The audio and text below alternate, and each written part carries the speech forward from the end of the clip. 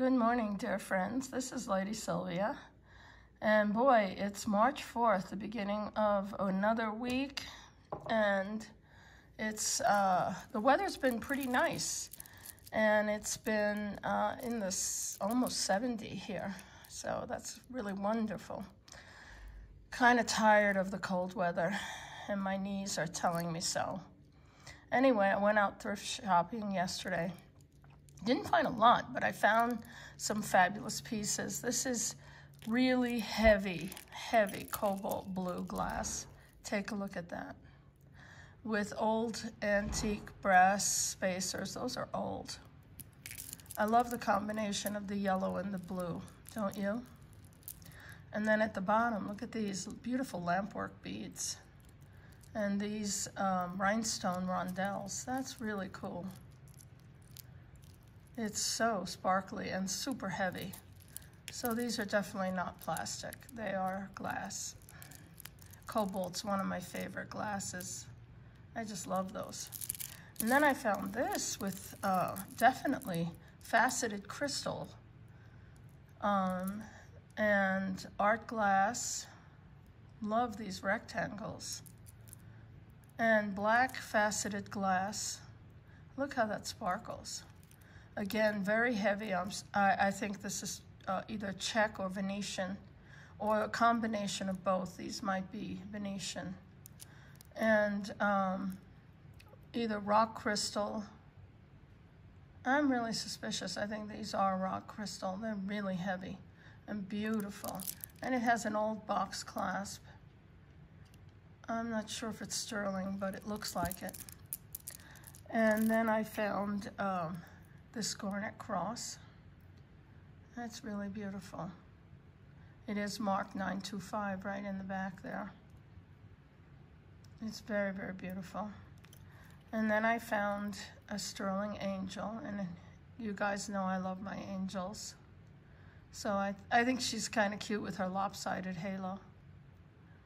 And then I found this which is by an artist called Michal Golan. And apparently she is from uh, Israel and lives in New York City. And those pieces, very, very Victorian looking. You can wear it as a, um, a pendant or a pin.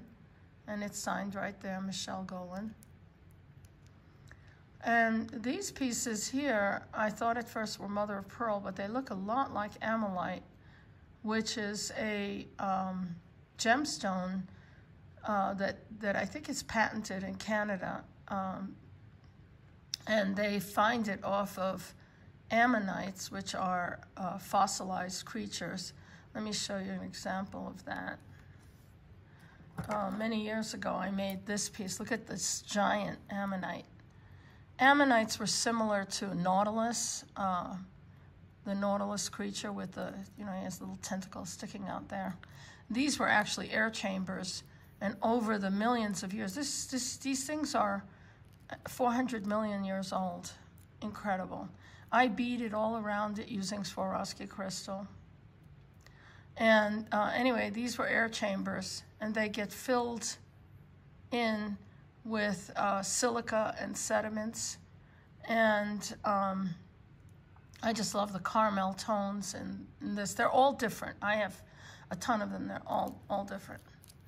And now, look at this, the way that, that fire of red, that's uh, the opalized am ammonite, which they harvest from these ancient fossils.